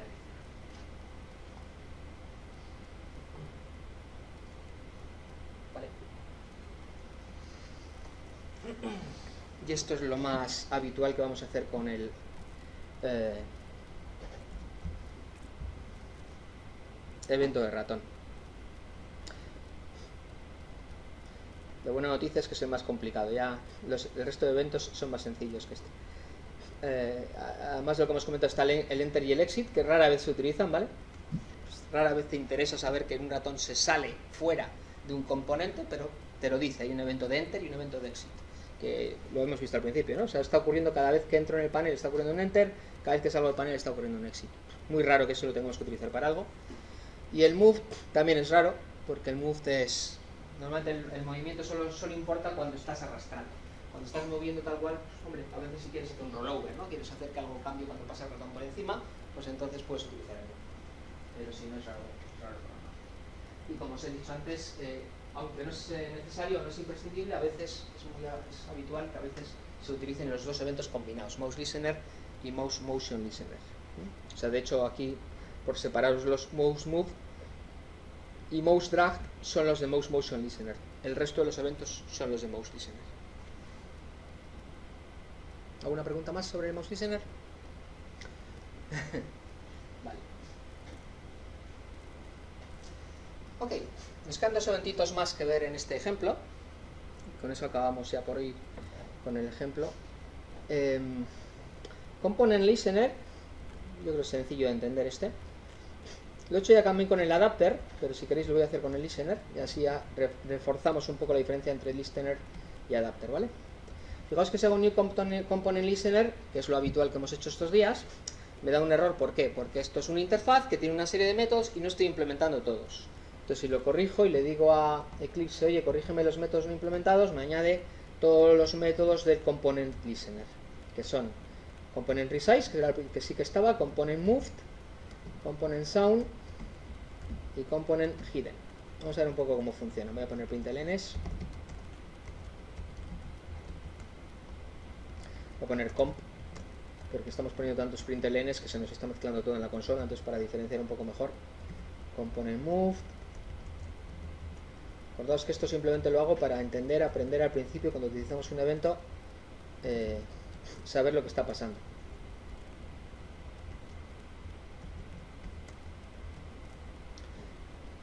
Vale, todo componente puede tener un component listener si queremos programarlo. Esto es para todos, así como el key listener os dije que solo se utilizan los que eh, pueden escuchar teclado. El mouse listener, pues hay algunos que no tendría sentido. Bueno, pues el, el component tiene sentido en todos, porque tiene que ver con el comportamiento propio visual del componente. Y nos va a informar de cuándo aparece sound, cuándo se oculta hidden, cuándo se mueve, raro, pero moved, se mueve es si se mueve dentro de su contenedor, dentro de su ventana, y cuándo se reescala. Este es el que más habitualmente se utiliza, el resized. ¿vale? Eh, vamos a ver cómo, cómo, se comporta. Lo estoy haciendo, lo estoy aplicando al panel central, ¿vale? Entonces fijaos que solo por el hecho de haber salido de la ventana han ocurrido dos eventos de componente que yo no he hecho nada para que ocurran. Resized y move. ¿Por qué? Porque cuando creé el componente estaba sin tamaño y en el momento en el que Swing lo compone dentro de la ventana, le da el layout y lo pone en su sitio, le cambia de tamaño y entonces ocurre un resize. De hecho, antes de que se visualice la ventana, ocurre esto. Fijaos que la ventana de hecho se está visualizando, luego hablamos de este en este window activate. O sea, antes de que la ventana se visualice ocurre un resize. Todos los componentes se redimensionan y todos los componentes se mueven a su posición dentro de la ventana. Entonces, eso ocurre por el hecho de que un componente lo metes en una ventana, ya que están ocurriendo esos eventos. A partir de ahí ocurren un montón de eventos más, pero no son de componente, estos que tenemos por aquí debajo. Luego hablamos de los de ventana y normalmente un componente no va a recibir más, eventos en su vida, en su vida eh, estándar, vamos a decir, ¿no? Eh, tú puedes hacer cosas con la ventana, la ventana la minimizas, la vuelves a sacar y los componentes en principio no reciben eventos. Por eso os decía que el más habitual es este. Cuando haces una redimensión, aunque la redimensión no sea del componente, porque rara vez el usuario puede redimensionar un componente, pero el usuario sí puede redimensionar la ventana. La redimensión de la ventana causa una redimensión del componente. ¿Por qué? Por el layout. Y esto depende del layout. Por ejemplo, este componente, eh, bueno, el combo box, por ejemplo, no se está redimensionando. ¿Vale? Porque el layout de dónde está el combo box dentro de su JPanel no está causando que el combo box se redimensione cuando redimensiona la ventana. Sin embargo, como este JPanel está en el center y el center coge todo el espacio disponible, obviamente al cambiar la ventana se va a, se va a reescalar, se va a redimensionar, ¿vale? Entonces, esto es algo que se puede utilizar cuando eh, la característica de tamaño del componente te influye en tu lógica de código. Lo que os dije para probar esto es que hicierais una cosa sencilla, que es ver cuando las etiquetas se nos empiezan a perder, ¿no? Entonces, ¿cómo podemos ver que las etiquetas se empiezan a perder? Bueno, pues cada vez que se rescala la pantalla, si nos fijamos en que hay alguna etiqueta que empieza a estar fuera, la ponemos en rojito, ¿vale? Y eso es lo que he programado aquí, estoy tapándolo con la ventana, en este resized. Quizás sea el, menos habitual de los que estamos comentando es el component ¿vale? Pero alguna vez necesitaréis programarlo cuando tengáis que responder a cambios visuales, a cambios de layout de la ventana y en ese caso esto se va a lanzar cuando cada vez el usuario juegue con el tamaño de la ventana o cada vez que cambias un layout y que ese layout hace un cambio de ventana. ¿vale? Si haces cambios en caliente, como hemos comentado antes, pueden ocurrir también cambios de, posición o de, de, tamaño de.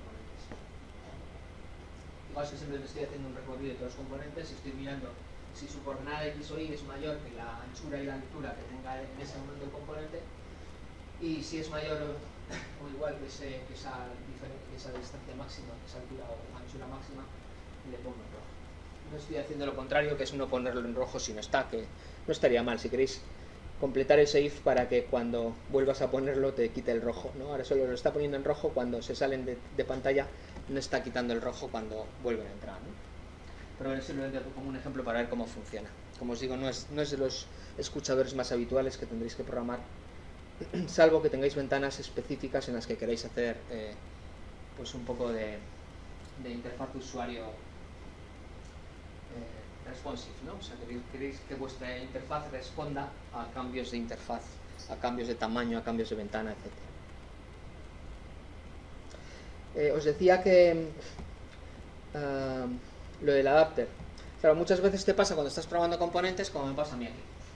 Que tengo cuatro eventos y que tres no me valen para nada. Vale, ya he aprendido cómo funciona, pero estos tres no los tengo que programar, no me valen para nada. Claro, si estás eh, eh, implementando el interfaz, no puedes cargártelos. Podrías dejarlos sin código, eso sí. Pero no puedes cargártelos porque te da error de compilación. Porque al implementar una interfaz tienes que implementar código para todos los métodos que contiene esa interfaz. Entonces, por eso es muy habitual, sobre todo en los eh, eventos que tienen muchos métodos, es muy habitual que en lugar de implementar la interfaz, heredes de la clase adaptadora. O sea, todo listener tiene un adapter. ¿Os acordáis que lo hemos comentado antes con el mouse? Todo listener tiene un adapter. ¿Qué es un adapter? Es una clase que implementa listener con los métodos vacíos. Entonces, una de dos. O implementas tu listener y pones los métodos vacíos, o heredas el adapter y no hace falta que pongas los métodos vacíos. De hecho, cuando heredas un adapter de saque, puedes no tener código, porque un adapter ya implementa la interfaz, con lo cual esto funciona. Con un listener no te funciona, con un listener siempre tienes que tener un código, ¿no? Hombre, obviamente esto no valdría para nada, ¿no? Pero veis, en lugar de programar los cuatro métodos y que tres estén vacíos, programo solo un método y los otros tres ni los pongo. Entonces en el mouse, en el window, en el component, que son de varios métodos, en key también si queréis, o sea, en estos que tienen varios métodos es habitual utilizar eh, heredar de adaptadores en lugar de implementar escuchadores, Es lo mismo, ¿eh? Lo que pasa es que esto es más cómodo porque no tienes que poner cabeceras vacías. Pero acordaos, todo listener tiene un adapter, excepto el action listener. ¿Por qué? Porque el action listener solo tiene un método. Entonces, si solo tienes un método, ¿para qué quieres un adapter? Si solo es un método. Es como siempre, siempre que programas un action listener es para programar, para, para programar el método action perform. Entonces ahí no necesitas un action adapter. Pero todo el resto de escuchadores que tienen varios métodos tienen un eh, component listener, component adapter, mouse listener, mouse adapter, mouse motion listener, mouse motion adapter. O sea, hay un adaptador para cada uno de los escuchadores. Cuando lo tenéis que utilizar, cuando os apetezca. Y voy con el último, que es el window listener. Aquí lo he dejado con el escuchador completo para ver cómo funciona. Voy a volver a ejecutar, de hecho. Sin hacer nada nosotros, están ocurriendo dos cosas con la ventana. Se está activando y se está abriendo. La tengo en mi otra pantalla. Toda ventana se activa cuando la lanzas a visibilización, cuando haces el ser visible a tú, se activa la ventana y luego, voy a ampliar la consola, que se me ha quitado aquí, a ver si la puedo arrastrar. Voy a empezar, ¿eh? Intentar arrastrarla sin meter eventos adicionales para no liarnos en la consola. Ahí, vale. Se ha activado y se ha abierto. ¿Qué más se detecta el window listener? El window listener es que se aplica a toda la ventana, de hecho se añade a this, o sea, se añade al objeto en curso que es un JFrame, estamos acordados en el constructor de un JFrame, una clase que hereda JFrame, y tiene todos los eventos clave que pueden ocurrir sobre una ventana. Fijaos, iconify iconify, ¿qué significa eso? Cuando lo minimizas, se iconifica y se desactiva. Cuando la vuelves a, conmutar con Alt Tab o yendo a la barrita de, sistema operativo, se deiconifica, se desiconifica, ¿no? Traducirlo, y se vuelve a activar. ¿Activar qué significa? Activar significa que es la ventana en primer plano, la ventana que recibe los eventos. Entonces, ¿cuándo se desactiva una ventana? Cada vez que pongas otra en primer plano que no sea ella. Por ejemplo, si me voy a Eclipse, la ventana de mi aplicación se ha desactivado. Si vuelvo con Alt Tab, la ventana de mi aplicación se vuelve a activar. ¿vale? Activar, desactivar, activar, desactivar ocurre cuando la ventana se pone en primer plano. De hecho, si queréis forzar alguna ventana se quede en primer plano, pues podéis atrapar este evento para hacer que se vuelva a activar cuando, se desactiva. Em, esto es muy habitual porque hay aplicaciones, se lo habéis mucho en el móvil, ¿no? Que cuando minimizas la aplicación, cuando pasas a otra, se te pone en pausa. ¿Cómo podríamos hacer que una aplicación se te ponga en pausa? Por ejemplo, si estamos haciendo un jueguito y ese juego queremos que se pause cuando la ventana se desactive. Pues nada, programamos el método de desactivación y hacemos que alguna variable booleana se ponga true y que el bucle de juego se pare cuando la ventana esté desactivada. Cuando volvamos a detectar el método de activación, volvemos a poner esa variable booleana false y el juego sigue funcionando, por ejemplo. activación y desactivación sí son eh, métodos habitualmente programados cuando hacemos una aplicación. El iconificado este es más raro, pero la activación y la desactivación sí son más habituales. Fijaos que de nuevo no están en orden, ¿vale? Si queréis eh, trabajar en ellos como en orden, pues lo normal es que primero se active la ventana y luego se desactive, digamos que van por parejas, ¿no? Estos dos eventos ocurren en pareja, se activa y se desactiva. Estos dos eventos también ocurren en pareja, se iconifica y se, se desiconifica. Y luego quedan otros tres eventos que también van en conjunción. La primera vez y solo una vez la ventana se abre. Esto va al principio. Open. O sea, después de activarse la primera vez se abre. Luego ya no vuelve a haber un open. La ventana está abierta todo el rato. Y al final cuando se cierra la ventana hace un closed. Pero antes, este es un momento un poco peculiar, esto hay que contarlo porque si no, no te lo imaginas, ¿vale? Así como otros son más eh, intuitivos, este no lo es. Closing es el evento que ocurre cuando el usuario está queriendo cerrar la ventana pulsando la X. Eso es closing. ¿Y para qué nos sirve? Lo he programado yo aquí. Nos sirve para cuando queremos actuar sobre el cierre, es decir, queremos que solo se cierre, espera, si yo quiero. Y eso habrá pasado en muchas aplicaciones, que vas a cerrar y te dice, ¿estás seguro que quiere cerrar? Bueno, si está seguro que quiere cerrar, lo haríamos en el closing. O sea, closing es una información de que el usuario quiere cerrar, pero no la va a cerrar salvo que nosotros dejamos, dejemos que la cierre. ¿Qué hay que hacer si no queremos que se cierre? Y os proponía el otro día, hacer que solo se cierre la ventana si el, usuario seleccionado en el, check, en el combo es el administrador. Bueno, pues lo que puedo hacer es lo que estoy haciendo aquí. Closing, la condición que quieras, en este, en este caso estoy cogiendo el administrador, y solo si pasa eso, cierro yo la ventana. Pero si no pasa eso, y podéis probar a dar a la X las veces que queráis, la ventana detecta closing, pero no llega a hacer closed. O sea, digamos que entre closing y closed tiene que ocurrir algo. Y esto ya depende de cómo programas la ventana. Si la has programado, como hemos hecho hasta ahora siempre, disposed on close, ¿qué es disposed on close? Es que disposed on closing va a close. Eso es disposed on pero si no queremos que pase, no lo he dicho antes, pero lo he cambiado en este código, le hacemos do nothing on close. ¿Qué estamos haciendo ahora? Nosotros programamos el cierre. Ahora ya no se va a cerrar solo. O sea, ya no va a pasar que cuando damos a la X la ventana se libera. De hecho, no pasa nada cuando damos a la X. Se lanza el evento de closing. Es lo único que pasa. Desde el evento de closing nosotros decidimos si queremos que pase más o que no pase más. Entonces, como en el evento de closing estoy mirando, si no es administrador no pasa nada, pues no pasa nada. En cambio, si es administrador, voy a irme al código para ver qué es lo que estoy haciendo.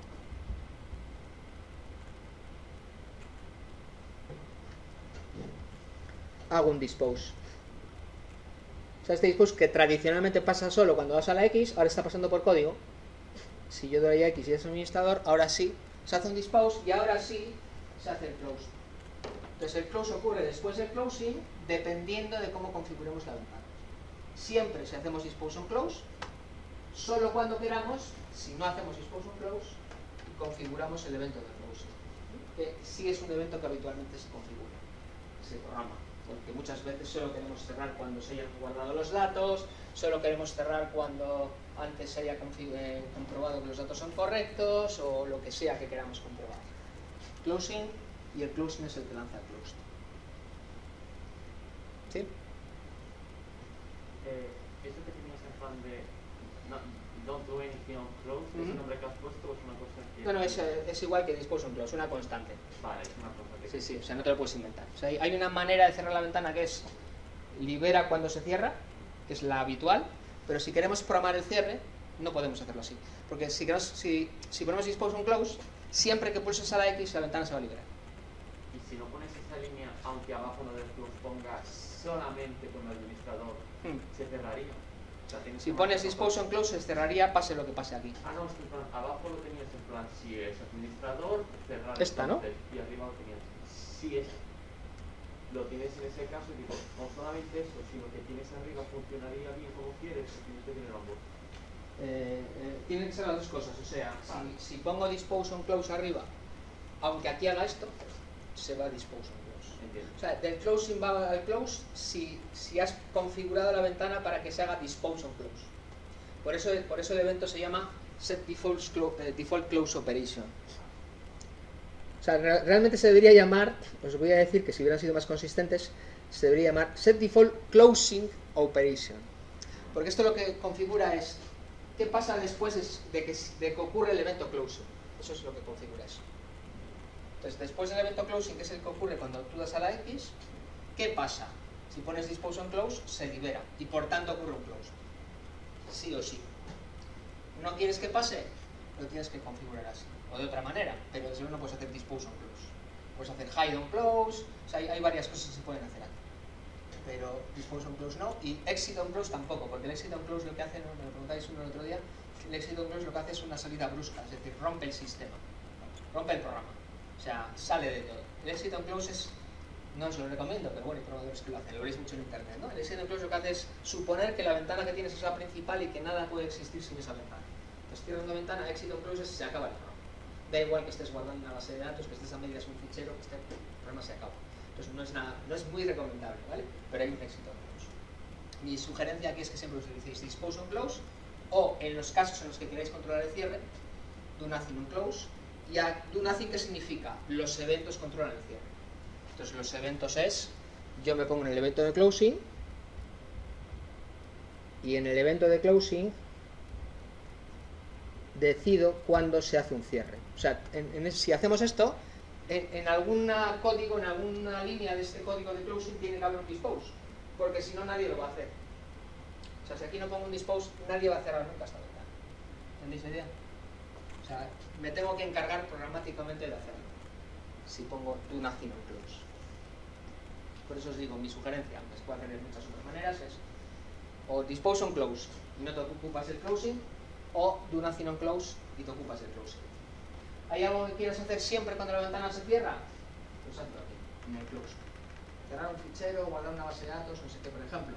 Habitual es, cuando cierro la ventana, guardo mis datos en un fichero de respaldo para que luego volver a empezar. Vale, pues esto se haría muy bien en el window close. O sea, como siempre que se cierra la ventana, lo último que ocurre es un window close, pues ahí hago mi guardado de ficheros o lo que sea. ¿Sí?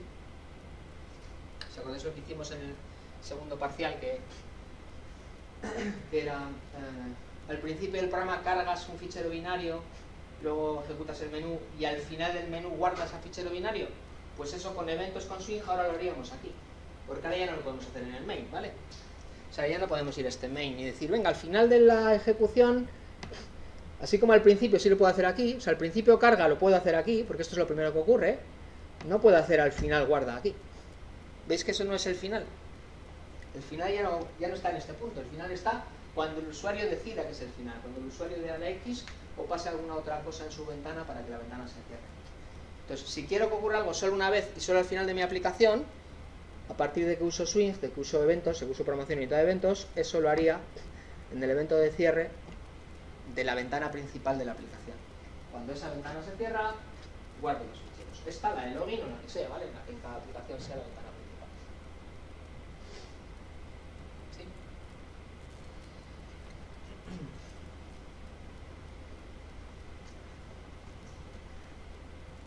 Vale, entonces lo que más habitualmente programaréis una ventana eh, de un window listener son estos dos que acabamos de es muy habitual. Bueno, por cierto, este open también te valdría para, para cargar del fichero, ¿vale? Porque este solo va a ocurrir una vez y solo al principio. ¿quieres algo que solo pase una vez y solo al principio? El window open de tu ventana principal.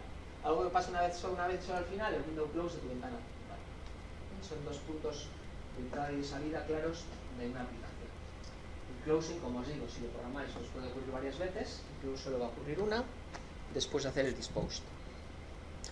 Cuando haces un set, eh, eh, un set visible false, no ocurre un closed. ¿eh?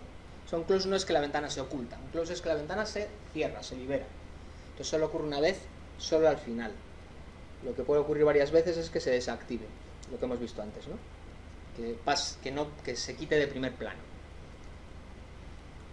O sea, con un set visible a false se desactivaría la ventana. Pero no se cierra, no hay un closed, hay un window de activate.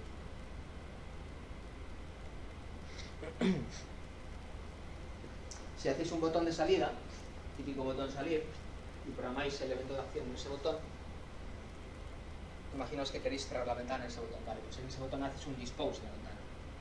En ese caso el evento de close ocurre, pero el de closing no sea, el de closing no ocurre siempre antes de cerrarse, ocurre solo si el usuario da la X, ¿vale? Sea, closing es exactamente que el usuario de la X. Si lo cierras tú a mano desde otro sitio, por ejemplo desde un botón, el único que ocurre es el de close, y ahí sí que ocurre sí o sí. O sea, si tú desde un botón haces un dispose, pues un dispose, ¿vale? O sea, que si tuvieras varios puntos de salida, no solo el X del, de la ventana, el, simbolito de la arriba a la derecha, eh, entonces sí podéis programar el, el evento de close, y el evento de close siempre ocurre se venga de un sitio o se venga de otro, se cierre por un sitio se cierre por otro.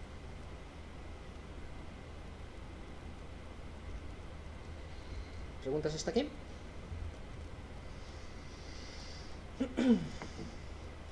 ok. Pues estos son los eventos significativos.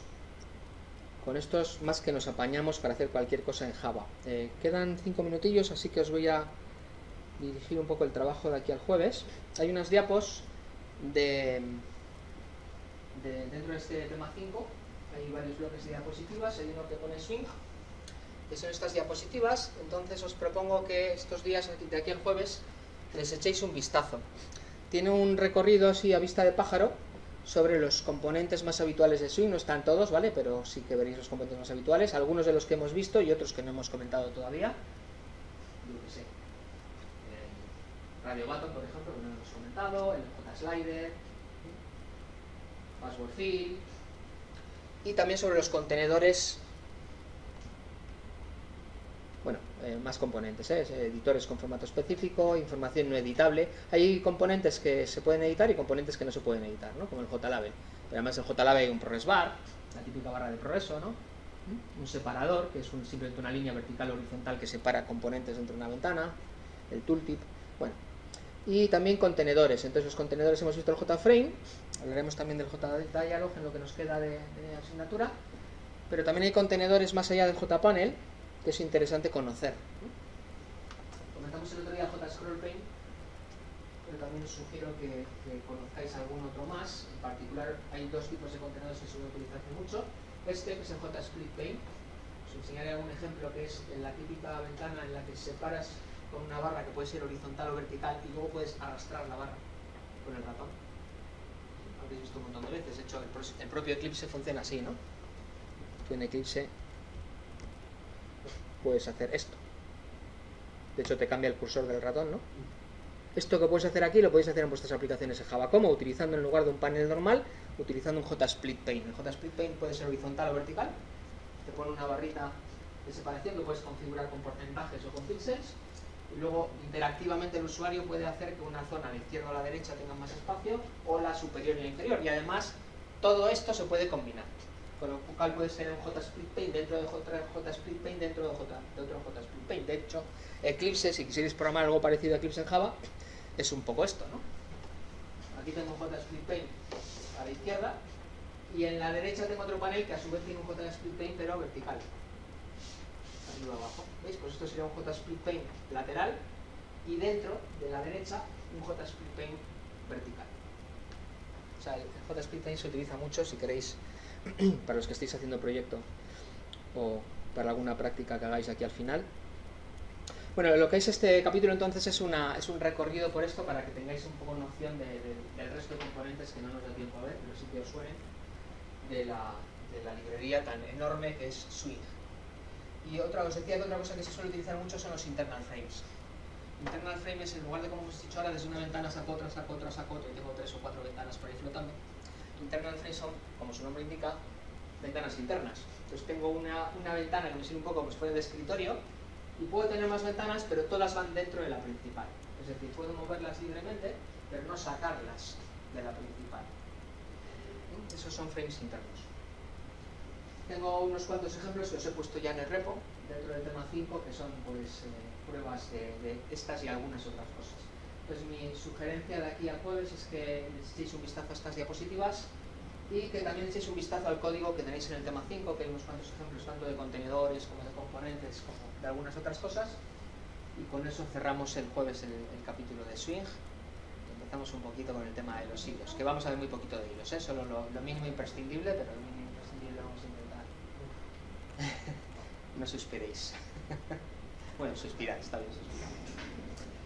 Eh, a ver si entendemos. Entonces, el, próximo día, que un poco es el último de clase de temario de la asignatura, digamos, cerramos y un poquito de ellos y la semana que viene la dedicaremos a, a repaso, a lo que queráis, revisar quizás algún examen o, bueno, un poco dudas en general sobre, sobre la asignatura y sobre la preparación de los, del examen final. ¿Vale? Gracias chicos, buena semana.